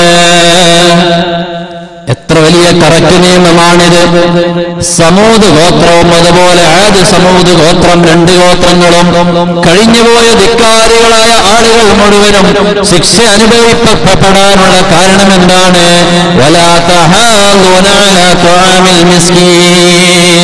സാധുക്കളായ ആളുകൾക്കുള്ള ഭക്ഷണങ്ങളെ തടഞ്ഞു വെച്ചതാണ്. പാവപ്പെട്ട ആളുകൾ കൈനീട്ടി മുമ്പിലേക്ക് വരുമ്പോ അവരുടെ കയ്യിൽ ഞങ്ങളുടെ കയ്യിൽ ഒന്നുമില്ല എന്ന് പറഞ്ഞ് തിരിച്ചുവിട്ട കാരണമാണ്. നിങ്ങൾ ഓർക്കുന്നില്ലേ? മാസങ്ങൾക്ക് മുമ്പ് നമ്മുടെ നാടായ നാടുകളിൽ മുഴുവൻ ഭിക്ഷാടന മാഫിയ നിരോധിത മേഖല എന്ന് ഫ്ലക്സ് വെച്ചവരാണ് നമ്മൾ ഞാനും അതിൽ കുറ്റക്കാരനാണ്. നിങ്ങളും അതിൽ കുറ്റക്കാരനാണ്. അള്ളാഹുവിന്റെ പാവപ്പെട്ട അടിയാറുകൾ കൈനീട്ടി മുമ്പിലേക്ക് വരുമ്പോ സഹാബികളെ നിങ്ങളുടെ വീട്ടിൽ ഒട്ടകത്തിന്റെ കുളമ്പ് മാത്രമേ ഉള്ളൂ എങ്കിലും അതെങ്കിലും നിങ്ങൾ എടുത്തു കൊടുക്കണ എന്ന് പഠിപ്പിച്ച ഹബീബായ മുഹമ്മദ് വസല്ലം അനുയായികളായ നമ്മൾ നാട്ടിലേക്ക് പാവപ്പെട്ട അന്യ സംസ്ഥാനക്കാരായ ഹിന്ദിക്കാര് തൊഴിലാളികൾ വരുമ്പോ നമ്മുടെ വീട്ടിലൊന്നുമല്ല ഈ നാട്ടിലേക്ക് ചവിട്ടണ്ട ഈ നാട്ടിൽ ഇനി കാണാൻ പാടില്ല എന്ന ഭീഷണി മുഴക്കി നമ്മൾ തിരിച്ചയക്കുമ്പോ അതാണ് അള്ളാഹുവിന്റെ ആരാധനങ്ങാനുള്ള ഒരു കാരണം ഖുർആൻ പറയുകയാണ് കണ്ടില്ലേ കഴിഞ്ഞ വെള്ളിയാഴ്ചയിൽ? അള്ളാഹു എത്ര പെട്ടെന്നാണ് കേരളത്തിന്റെ അവസ്ഥ മാറ്റിമറിച്ചത്? എല്ലാ സമയങ്ങളിലും നമ്മൾ പറയാറുണ്ട് ആസാമിൽ വെള്ളപ്പൊക്കമാണ് ബീഹാറിൽ വെള്ളപ്പൊക്കമാണ് ഗുജറാത്തിൽ ഭൂകമ്പമാണ്. അവിടെയെല്ലാം പട്ടിണിയാണ്. അവർക്ക് ഡ്രസ്സില്ല വെള്ളമില്ല ഭക്ഷണമില്ല പുതപ്പില്ല. കേരളത്തിൽ നിന്ന് എത്ര കോടികളാണ് നമ്മൾ പിരിച്ചത്? എന്നാൽ അറിയണോ കേരളത്തുള്ള നേരെ ഇങ്ങ് മാറ്റിമറിച്ചു കഴിഞ്ഞ വെള്ളിയാഴ്ച സംസ്ഥാനങ്ങളിൽ ഇതര സംസ്ഥാനങ്ങളിൽ മുഴുവൻ കേരളത്തിന് വേണ്ടി പിരിവ് നടത്തുകയാണ്. കേരളത്തിന് വേണ്ടി വസ്ത്രശേഖരണം നടത്തുകയാണ്. പള്ളികളായ പള്ളികളിൽ മുഴുവൻ വെള്ളിയാഴ്ച ജുമാക്ക് ദിവസം കേരള വാലയ്ക്ക് വേണ്ടിയുള്ള സഹായവും തരണേ എന്ന് അവർ യാചിക്കുകയാണ്. ആഴ്ചകൾ മാത്രം ദിവസങ്ങൾ മാത്രമല്ല മാറ്റിമറിച്ചാൽ എത്ര പെട്ടെന്നാണ് അള്ളാഹുവിന്റെ ശിക്ഷ വന്നത്. ഒരു പക്ഷേ നിങ്ങൾ ആരും സമാധാനിക്കണ്ട. ഞങ്ങൾ പ്രദേശം ഉയർന്ന പ്രദേശത്താണ്. ഞങ്ങൾ പ്രദേശം ഞങ്ങൾ പാറക്ക് മുകളിലാണ് എന്ന ധാരണ ധാരണ ആരംഭിച്ചു പോകണ്ട. അല്ല ഇവിടെ മുഴുവനും അങ്ങ് കുലുക്കി കളയാൻ ഉദ്ദേശിച്ചാൽ എവിടെയാണ് നമ്മൾ അഭയം തേടുക സഹോദര? നിങ്ങൾ നോക്കൂ അള്ളാഹുവിന്റെ പരീക്ഷണങ്ങൾ സാമ്പത്തിക പ്രതിസന്ധികൾ വന്നു. നോട്ട് മാറ്റത്തിന്റെ പ്രതിസന്ധി വന്നപ്പോ നമ്മൾ പറഞ്ഞു ഇനി കടയായ കടകളിൽ മുഴുവനും എഴുതി വെച്ചു ടെക്സ്റ്റൈൽസുകളിൽ മുഴുവനും നമ്മൾ എഴുതി വെച്ചു പരസ്യങ്ങളില്ല സംഭാവനകളില്ല ഒന്നുമില്ല സമ്മാനത്തിന്റെ ഓഫറുകളില്ല സാമ്പത്തിക മാന്ദ്യമാണ്. നമ്മൾ ആരും മനസ്സിലാക്കിയില്ല. ദാനധർമ്മം നമ്മുടെ ആപത്തിനെ കാക്കുമെന്നാരും മനസ്സിലാക്കിയില്ല. എല്ലാ ഷോപ്പുടമകളും എഴുതി വെച്ച് ഫോട്ടോസ്റ്റാറ്റ് കാഷ്യറുടെ നേരെ മുകളിൽ ഇവിടെ പരസ്യങ്ങൾ സ്വീകരിക്കൂല. ഇങ്ങോട്ട് സമ്മാനം ഓഫർ ചോദിച്ചു വരണ്ട. ഇവിടേക്ക് സംഭാവന ചോദിച്ചു വരണ്ട. കാരണം സാമ്പത്തിക മാന്ദ്യമാണ്. നോട്ടിന്റെ നിരോധനം കഴിഞ്ഞ് നമ്മൾ ആരും പദം വരാതിരുന്നപ്പോ നമ്മുടെ മുഖ്യമായ നമുക്ക് സമ്പത്തിന്റെ സ്രോതസ്സായ സോഴ്സായിരുന്ന വിദേശം വിദേശ രാജ്യങ്ങളിലുള്ള നമുക്കൊരു പരീക്ഷണം നൽകാണ്. അവിടെ മുഴുവൻ നിയമക്കുറിപ്പുകൾ വന്നുപോയി. സ്വാ- പാവപ്പെട്ട മലയാളികൾ പ്രയാസത്തിലായിപ്പോയി നമ്മൾ പദം വന്നില്ല. അല്ല വീണ്ടും ഒരു പരീക്ഷണം നൽകിയാണ് അസുഖങ്ങളെ കൊണ്ട്. നാടിനീളെ ക്യാൻസർ പടർന്നു പന്തലിക്കുകയാണ്. കിഡ്നി രോഗങ്ങൾ പടർന്നു പന്തലിക്കുകയാണ്. നിപ്പ വൈറസ് പോലെയുള്ള വൈറസുകൾ വരികയാണ്. നമ്മളാരും മാറാൻ തയ്യാറായില്ല. അടുത്തല്ലാത്ത പരീക്ഷണം വന്നിരിക്കുകയാണ്. നാടിനീളെ കേരളം മുഴുക്കെ ജലത്തിൽ മുക്കിക്കളഞ്ഞിരിക്കുകയാണ്. ഇതും ഒരു താക്കീതാണ്. ഒരു സൂചനയാണ് ഒരു വാണിംഗ് ആണ് ജനങ്ങളെ. ഇനി നമ്മൾ മനസ്സിലാക്കിയിട്ടില്ലെങ്കിൽ അള്ളാഹു അപ്പുറുള്ള അതാബ് കൊണ്ടുവരാൻ അറിയാത്തതുകൊണ്ടല്ല. വാണികൾ മാത്രമാണ്. അള്ളാഹു ഭൂചലനം ഗുജറാത്തിലും പഞ്ചാബിലും ഉണ്ടാക്കിയതുപോലെയുള്ള ഭൂകമ്പങ്ങൾ നമ്മുടെ നാട്ടിൽ ഇതുവരെ നൽകിയിട്ടില്ല. ചെറിയ ചെറിയ വളരെ കുറഞ്ഞ രീതിയിലുള്ള അളവുകൾ വെച്ച് മാത്രമാണ് അള്ളാഹു നൽകിയത്. സൂചനകൾ മാത്രം. നിങ്ങൾ നോക്കൂ അള്ളാഹുവിന്റെ ഈ ഒരു പരീക്ഷണം കൊണ്ടും മാറാൻ തയ്യാറായില്ലെങ്കിൽ ഖേദകരമാണെന്ന് പറഞ്ഞോട്ടെ? ഇപ്പോഴും നിങ്ങൾ കണ്ടില്ലേ? അള്ളാഹു പറഞ്ഞ വേഷം ധരിക്കാതെ നടക്കുന്നവർ എന്റെ ഈമാനുള്ള ചെറുപ്പക്കാരെ. എത്ര തവണ നമ്മൾ പറഞ്ഞതാണ് നമുക്കിനിയും ഒരു ഉറച്ച വിശ്വാസം വന്നിട്ടില്ലല്ലേ? എത്ര പ്രാവശ്യം പറഞ്ഞോ നമ്മൾ ദീനിന്റെ വേഷം ധരിക്കണേന്ന് ഔറത്ത് വെളിവാക്കിയ വേഷം ധരിക്കല്ലേ എന്ന് പലപ്പോഴും വലിയ വിഷമം തോന്നി പോകാറുണ്ട്. പള്ളിയുടെ മുമ്പിലായാലും വേണ്ടിയില്ല ആലിമീങ്ങളെ മുമ്പിലായാലും വേണ്ടിയില്ല ഔറത്ത് ധരിക്കാതെ പൂർവ വിദ്യാർത്ഥികളാണെന്ന് ടൈറ്റിൽ വന്നിട്ട് പോലും അവരെ മാറ്റാതെ നടക്കുന്നത് കണ്ടില്ലേ? ഒരു കാര്യം നിങ്ങൾ മനസ്സിലാക്കണേ.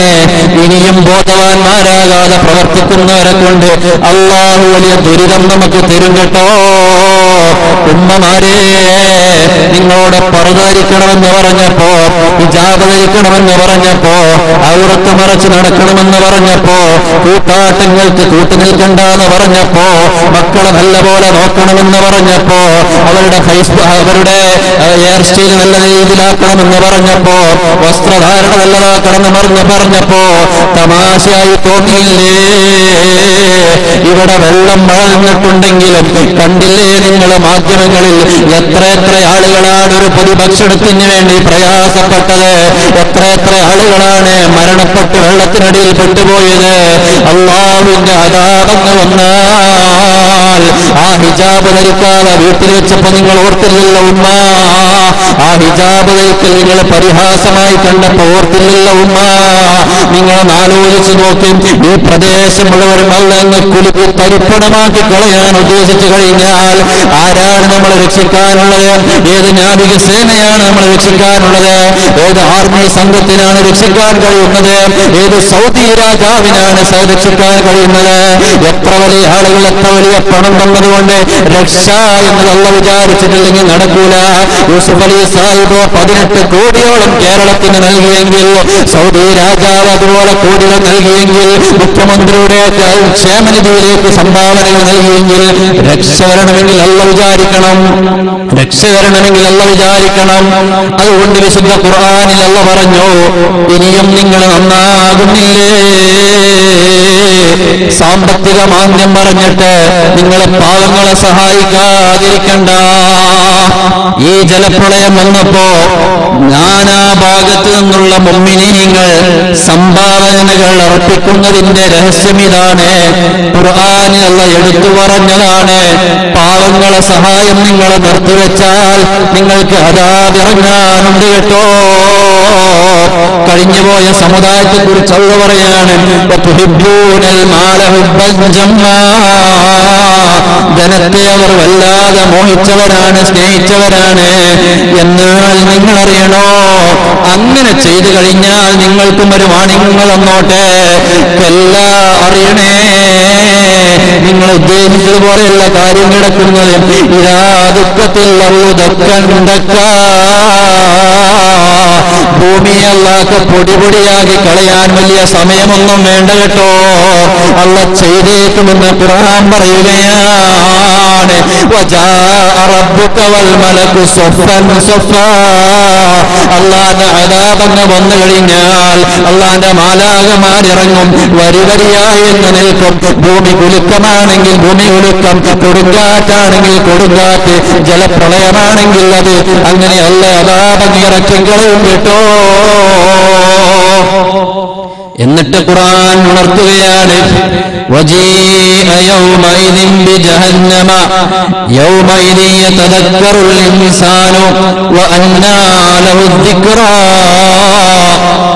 നിങ്ങൾ നാളേക്കുള്ള ജീവിതത്തിന് വേണ്ടിയുള്ള ജീവിതമാണിത്.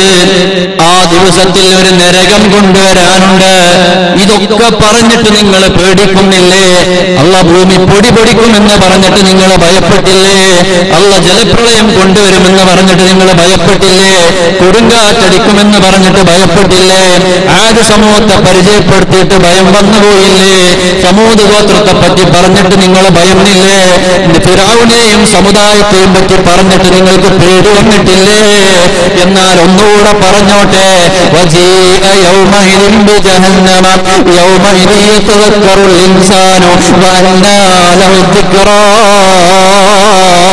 നരകത്തെ വലിച്ചു കൊണ്ടുവരുന്ന ദിവസമുണ്ട് മോനെ. ആ നരകത്തിന് എഴുപതിനായിരം കണ്ണികളാണ്. ഓരോ കണ്ണികളിലും എഴുപതിനായിരം മാലാഖമാരാണ്. നരകം ഇങ്ങനെ സഫീർ എന്ന് നിലവിളിക്കുകയാണ്. ആ സമയത്ത് നിങ്ങൾ പറയും യഖൂലു പടച്ചോനെ ഞങ്ങളെ ഹയാത്ത് കാലത്ത് ജീവിതകാലത്ത് സൽക്കർമ്മം ചെയ്തില്ലല്ലോ. പാവപ്പെട്ടവരെ സഹായിച്ചില്ലല്ലോ. പറത ധരിച്ച് നടന്നില്ലല്ലോ. ഔറത്ത് മറച്ച് നടന്നില്ലല്ലോ. ഹിജാബ് ധരിച്ച് നടന്നില്ലല്ലോ റബ്ബേ. എന്ന് ചിന്തിച്ച് നിലവിളിച്ചിട്ട് കാര്യമുണ്ടാകൂല. എന്നാൽ ഇന്നിവിടെ സന്തോഷത്തോടെ അള്ളാഹുവിന്റെ ദീനനുസരിച്ച് ജീവിച്ചവരോ അല്ല പറയാണ് വിശുദ്ധ അല്ല പറയാണ്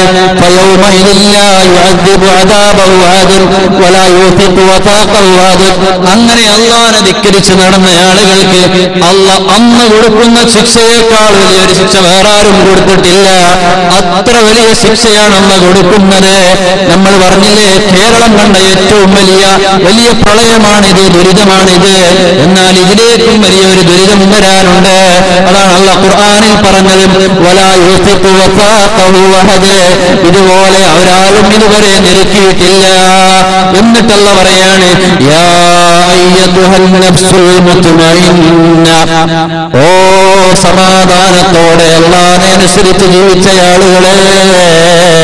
നിങ്ങൾക്ക് സമാധാനമുണ്ട്. നിങ്ങൾ നല്ല തൃപ്തിപ്പെട്ടവരായി സമാധാനമുള്ളവരായി നിങ്ങൾ കടന്നു വരൂ. എന്നിട്ട്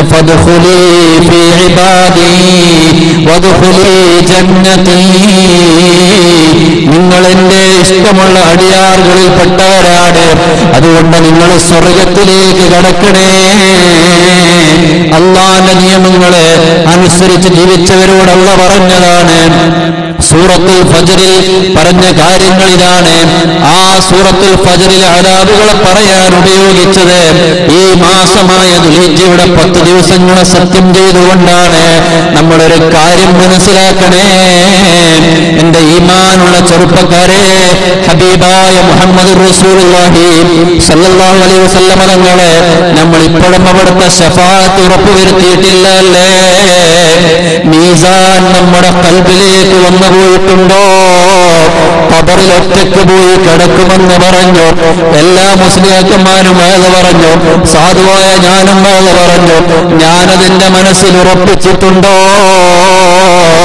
മഹേശ്വരയിൽ ചെന്ന് നിൽക്കുന്ന രംഗം നമ്മൾ നമ്മുടെ കൽബിൽ ഉറപ്പിച്ചിട്ടുണ്ടോ? മീസാനിൽ തൂക്കും നന്മയും തിന്മയും തൂക്കം ചെയ്യൂ എന്ന് പറഞ്ഞില്ലേ? നമ്മൾ ആരെങ്കിലും അതിനെക്കുറിച്ച് ആലോചിച്ചിട്ടുണ്ടോ? ഒരുപക്ഷെ നമുക്ക് ചിന്ത വന്നു പോയിട്ടുണ്ടാകും. മീസാൻ എന്ന് പറഞ്ഞ തുലാസെന്നാണ് അതിലെങ്ങനെയാണ് മണി തൂക്കം കിട്ടുമെന്നാണ്. പീഡിയയിൽ നമ്മൾ കാണാറുണ്ട് തുലാസൻ ഒരു കിലോത്തിന്റെയും ഒരാക്കിലോത്തിന്റെയും ഒരാ കിലോത്തിന്റെയും കാ കിലോത്തിന്റെയും കത്തിവെച്ച് തൂക്കുന്ന തുലാസ്.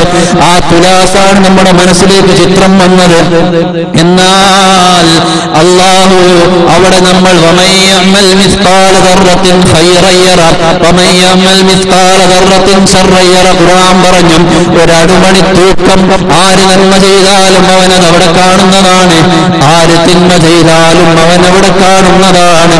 ഒരടുമണി തൂക്കത്തിന്റെ വ്യത്യാസം പോലും ഉണ്ടാകൂല. ചിലപ്പോ നമ്മൾ ആലോചിച്ചില്ലേ എങ്ങനെയാണ് ഈ തുലാസിൽ അണുമണി തൂക്കം അളക്കുന്നത്? പഴയ കാലത്താണെങ്കിൽ നമുക്ക് പറയാമായിരുന്നു ഈ കാലത്ത് കഴിയില്ലല്ലോ. ഇന്ന് കണ്ടില്ല എത്രയാണ് നമ്മൾ പനിയളക്കാൻ നമുക്ക് അളവിനുള്ള സംവിധാനങ്ങളുണ്ട്. അതുപോലെ തന്നെ നമ്മൾക്ക് നമ്മുടെ വാഹനങ്ങളുടെ കിലോമീറ്ററുകൾ അളക്കാനുള്ള സംവിധാനങ്ങളുണ്ട്.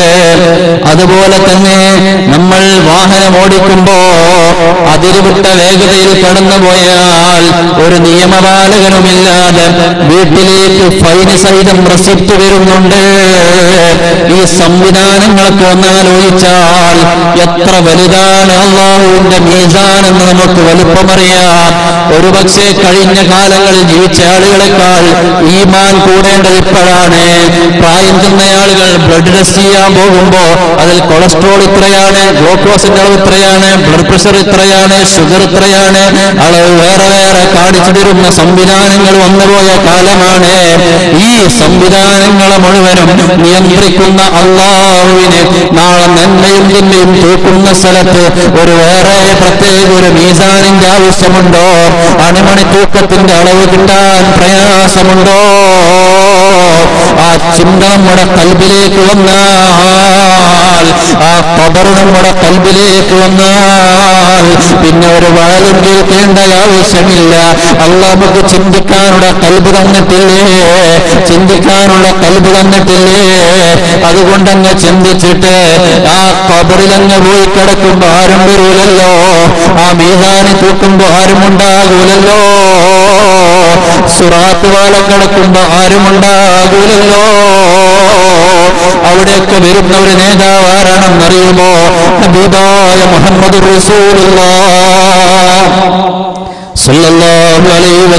തങ്ങൾ മാത്രമാണ്. മഹാന്മാര് രേഖപ്പെടുത്തി വെക്കുന്നത് കാണാം. എല്ലാ ആളുകളും മത്സറിൽ നിന്ന് നഫ്സി നഫ്സി എന്ന് പറയുമ്പോ ഒരാൾ മാത്രം നഫ്സി നഫ്സി എന്ന് പറയൂല. എല്ലാവരും എന്റെ ശരീരം എന്റെ ശരീരം എന്ന് പറഞ്ഞിട്ട് ബേജാറിലാണ്. ആദം നബി അലൈഹി സ്വലാത്തു വസ്സലാം അടക്കം അങ്ങനെയാണ്. മൂസാ നബി അലൈഹി സ്വലാത്തു വസ്സലാം അങ്ങനെയാണ്. ഖലീലുല്ലാഹി ഇബ്രാഹിം നബി അങ്ങനെയാണ്. നൂഹ് നബി അലൈഹി സ്വലാം അങ്ങനെയാണ്. എല്ലാ നബിമാരും അങ്ങനെ നിൽക്കുന്ന സന്ദർഭത്തിൽ നഫ്സി നഫ്സി എന്ന് പറയാത്ത ഒരാൾ മാത്രമാണ്. റബ്ബി ഉമ്മത്തി റബ്ബേ എന്റെ ഉമ്മത്തിനൊന്നും കൊടുക്കല്ല അവനെ പരി അവരെ പരീക്ഷിക്കല്ല എന്റെ ഉമ്മത്തിനെ കാക്കണേ അല്ല? എന്ന് എല്ലാവരും ഒരേ മുദ്രാവാക്യം ഉദ്ധരിക്കുമ്പോ ഒരു നേതാവ് മാത്രം എന്റെ ഉമ്മത്തിനെ ഓർത്ത് കറിയുന്ന നേതാവുണ്ട്. അത് ഹബീബായ മുഹമ്മദ് റസൂലുള്ളാഹി. സല്ലല്ലാഹു അലൈഹി വസല്ലം ചോദിച്ചു നബിയെ പ്രയാസത്തിലാകുമ്പോ മഹസറിൽ പല ഘട്ടങ്ങളും വരുന്നുണ്ട്. അങ്ങനെ നിങ്ങൾ ഈ ശഫാത്ത് കിട്ടാൻ എവിടെയാണ് തിരയേണ്ടത് നബിയേ? അപ്പ സഹാബത്തിനോടുള്ള നബിതങ്ങളെ മറുപടിയാണ് അല്ലയോ സഹാബ ഞാൻ എന്ന് നിങ്ങൾ കണ്ടിട്ടില്ലെങ്കിൽ ഞാൻ മീസാനിന്റെ അടുത്തുണ്ടാകും സഹാബ സ്വഹാബത്തിന്റെ ചോദ്യമാണ് അവിടെയും കണ്ടിട്ടില്ലെങ്കിലോ നബിയേ ഞാൻ ഹൗലുൽ കൗസറിന്റെ അടുക്കൽ ഉണ്ടാകും സ്വഹാബ. അവിടെയും കണ്ടിട്ടില്ലെങ്കിലോ നബിയേ ഞാൻ സുറാത്തിന്റെ അടുത്തുണ്ടാകും സ്വഹാബ. അവിടുന്ന് ഞാൻ അങ്ങോട്ടും പോകൂല ഇങ്ങോട്ടും പോകൂല. എന്റെ ഉമ്മത്തീങ്ങളെ മുഴുവനും അങ്ങ് കടത്തിവിടാതെ ഞാൻ ഇങ്ങോട്ടും പോകൂല സഹാബ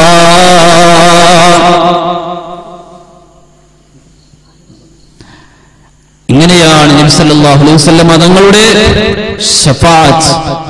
ആ നിബിതങ്ങളെ കുറിച്ച് നമ്മൾ ഓർത്തിട്ടുണ്ടോ? അവിടത്തേക്ക് സ്വലാത്ത് ചെല്ലിയിട്ടുണ്ടോ? അള്ളാഹുവിന്റെ കതിർ ഖലാവിനെ കുറിച്ച് നമ്മൾ ചിന്തിച്ചിട്ടുണ്ടോ? കുറെ കാലം നമ്മൾ എല്ലാവരും തോന്നിയതുപോലെ ജീവിച്ചു. ഇനിയും ഇതിലപ്പുറം ഒരു അതാബ് അള്ളാഹുവിനിറക്കാൻ കഴിയാത്തതില്ല. അതുകൊണ്ട് ഇനിയെങ്കിലും നന്മയിൽ നിന്ന് പിന്തിരിഞ്ഞിരുന്ന ആളുകൾ എന്റെ ശബ്ദം ശ്രവിക്കുന്നവരുണ്ടെങ്കിൽ നമ്മൾ ആ നന്മയിലേക്ക് കടന്നു വരണം. കാരണം വിശുദ്ധ ഖുർആാനിൽ തന്നെ പറഞ്ഞു അതാ പറയുമ്പോ തെറ്റ് ചെയ്ത ആൾക്കാർക്ക് മാത്രമല്ല അറിഞ്ഞ നേരത്തെ ഇറങ്ങും എല്ലാവർക്കും കിട്ടും. അതാ എല്ലാ എല്ലാവർക്കും കിട്ടും. ഒരാൾ മാത്രം നല്ല ആളുകൾ മാത്രം അതിന് ഒഴിവായി പോകൂല. അള്ളാഹുവിന്റെ നബിമാരെ അള്ളാഹു താല കാത്തു സംരക്ഷിച്ചതുപോലെ ഈ കാലത്ത് സമുദായത്തിൽപ്പെട്ട നമ്മൾക്ക് എല്ലാവർക്കും ഒന്നുപോലെ കിട്ടുമെന്നാണ് വിശുദ്ധ ഖുർആൻ പറഞ്ഞത്. അതുകൊണ്ട് ആരെങ്കിലും ഒരാൾ തെറ്റ് ചെയ്താൽ മതി. അള്ളാഹുവിന്റെ ദേഷ്യം അടങ്ങാതെ വരുമ്പോ അള്ളാഹു തല മൊത്തത്തിലേക്ക് വരും. അള്ളാഹു നമ്മെ എല്ലാവരെയും കാത്തുരക്ഷിക്കുമാറാകട്ടെ പടച്ചുറബേ നിങ്ങളെല്ലാവരും അറിവില്ലാത്തത് കൊണ്ട് ചെയ്തു പോയതാണ് അല്ലോ നിങ്ങൾ അറിയാതെ വല്ല തെറ്റുകളും ചെയ്തതിന്റെ പേരിലാണ് ഈ പരീക്ഷണങ്ങൾ നിങ്ങൾക്ക് നൽകുന്നതെങ്കിൽ നീ ആ പരീക്ഷണം ഞങ്ങളിൽ നിന്ന് മാറ്റിക്കളയണേ അല്ലോ. പടച്ചറബേ ഇപ്പോഴും ദുരിതം തീരാത്ത പ്രദേശങ്ങൾ ഇപ്പോഴും പ്രയാസം അനുഭവിക്കുന്ന പ്രദേശങ്ങൾ ഒരുപാടുണ്ട് അല്ലോ. അവർക്കൊക്കെ നീ സമാധാനം നൽകണേ അല്ലോ. അവർക്കൊക്കെ നീ ആരോഗ്യം നൽകണയല്ല. മരണപ്പെട്ടു പോയവരെ കബർ സന്തോഷമാക്കണയല്ല. കുറെ ആളുകൾ ദ്വാ ചെയ്യാൻ വേണ്ടി